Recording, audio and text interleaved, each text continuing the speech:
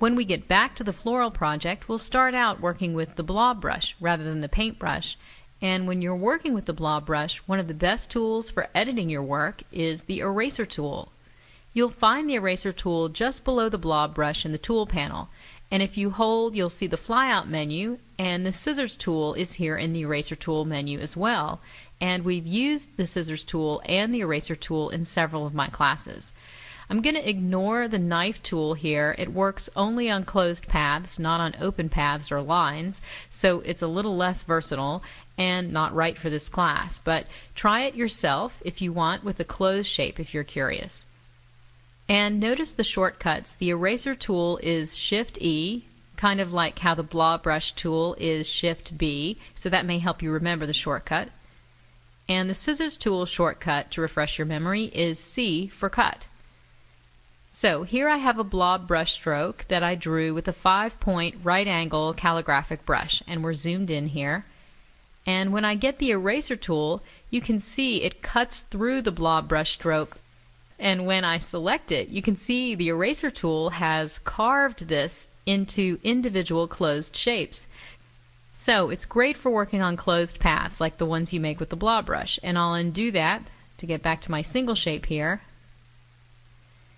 And so this allows you to do some fine tuning here like this, just shaving a little off the end of the stroke here and making it taper to a finer point, just carving away.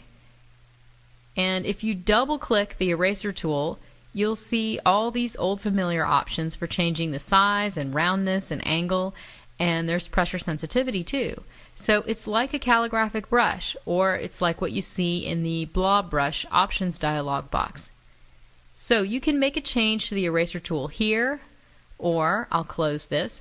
You can use the left and right bracket keys while you're using the eraser tool to lower and raise the diameter and you can just go back and forth as you work using the bracket keys.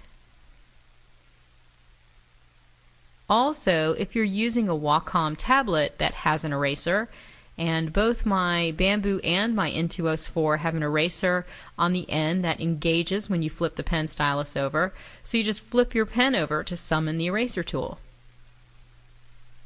So the eraser tool is the perfect companion to the blob brush. Also, you don't have to select anything to use it. It will erase anything that isn't locked down, open paths and closed paths. But there are a few things you can't erase, like text. If you want to erase text, you have to convert it to outlines first. And you can't erase images, like the sketch we've been using in this project. Also, you can limit what gets erased by selecting the object you want to erase first, like this line here, in the middle of this series of lines. So when something is selected, you can only erase the selected object. When nothing is selected, you can erase anything that's erasable on the artboard. And here I have some rectangles with a fill and a stroke. And watch what happens when I run the eraser through this shape. It carves the shape into individual shapes, and the appearance, the stroke, and the fill is reapplied to the individual shapes. So these all have the stroke around them now. And like we've seen with other drawing tools, holding shift constrains the angle you're drawing in to 45 degrees so you can make perfectly straight lines with the eraser tool. You can also hold down the Option or Alt key on a PC and this lets you work with the eraser tool in rectangular marquee fashion. If you add Shift to Option or Alt, you have a square marquee eraser. So that's pretty cool, but again, notice in all these instances, the stroke and fill is reapplied to the individual shapes. So when you cut through something with the eraser, Illustrator then re-renders the objects. And this is important to us because when we're not using the blob brush, we've been drawing with the paintbrush in this class. And this re-rendering behavior of the eraser tool makes it not such a great match for paintbrush strokes. Here I have three of the same strokes, all drawn with the paintbrush tool and the five-point right-angle calligraphic brush. And when I erase this first one, you can see how it's re-rendering, and the brush stroke is reapplied to the individual paths, and it's lost the original width variation. The better tool for paintbrush paths is the scissors tool, and remember the shortcut is C for cut. And so when I cut, just by clicking in a couple places along this line, it doesn't change the brush stroke so drastically like the eraser tool did. And then there's also a tool, and this one lives under the pencil tool, and it's called the path eraser.